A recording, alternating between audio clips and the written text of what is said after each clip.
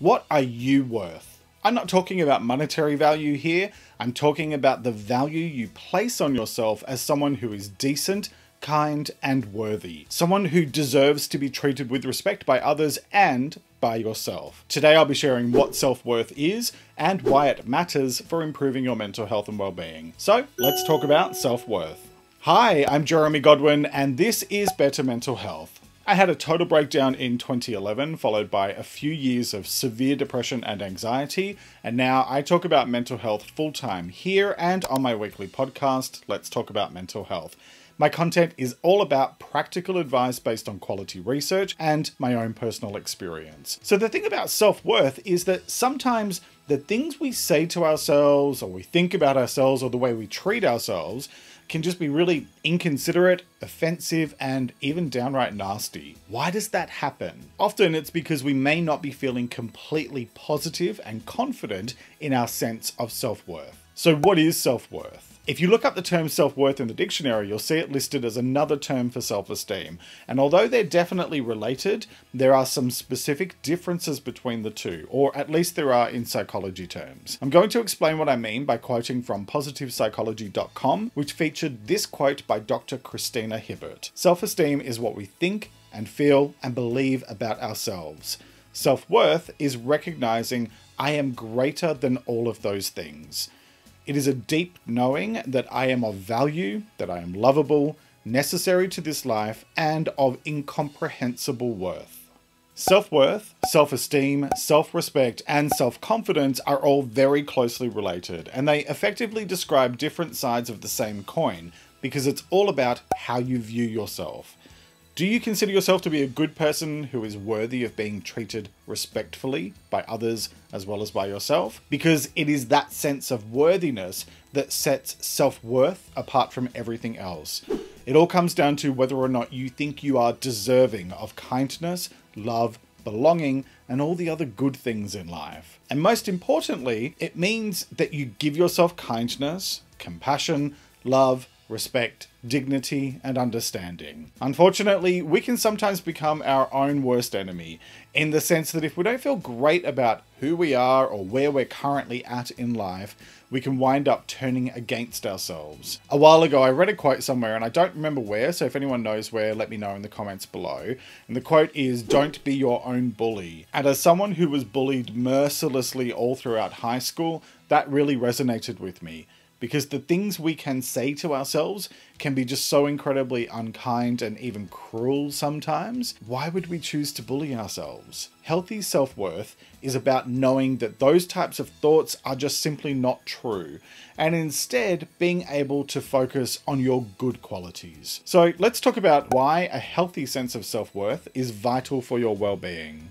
And I mean, hopefully it's obvious, but let me be blunt. If you can't feel good about yourself, life is probably going to feel a bit crap, isn't it? When your sense of self worth is low, you can tend to do and accept things that are damaging to you. I'm talking about unhealthy relationships, addictive behaviors, engaging in risky behaviors, seeing yourself as a failure and so never trying to change things for the better. These are just some examples of the damaging consequences of low self worth, and it's something that can often go hand in hand with conditions like depression. So, the other thing I want to talk about here in terms of healthy versus unhealthy self worth is about how you define your worthiness. So, traditionally in the West, we've fallen into the trap of defining our success and our worth by factors like your job title, your salary, the size of the house you live in, your car, the clothes you wear, and so on.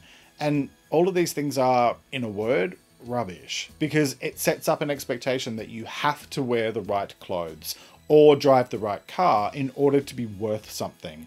And that is the biggest load of crap ever. You can be wealthy or well educated and still be a total train wreck of a human being. Let me give you an example of what I'm talking about. A few years ago, someone trolled me with a fairly nasty message after I wrote a blog post where he commented that I had gained my degree from a regional university, and so therefore, in his eyes, my degree and my opinions were subpar. First of all, that had nothing to do with me, and everything to do with the type of person that he was.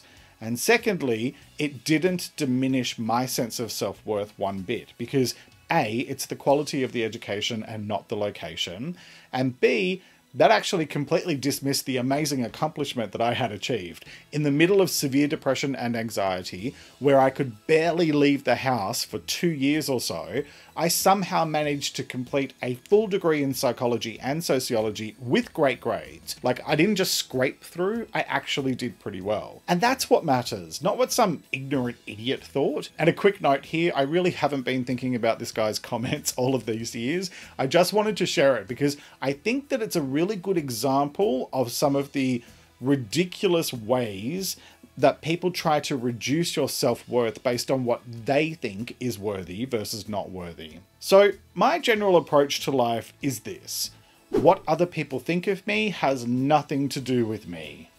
I focus on doing no harm, being kind, and giving more than I take.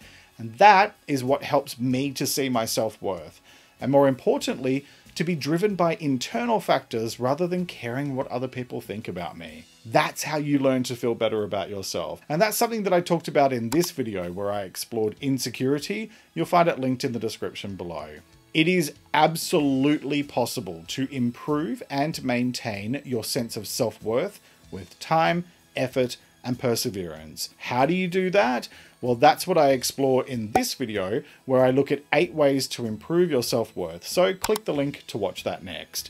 And you'll find even more advice on managing your well-being in my weekly podcast, Let's Talk About Mental Health. It's linked in the description below. Thanks so much for joining me today. Take care and talk to you next time.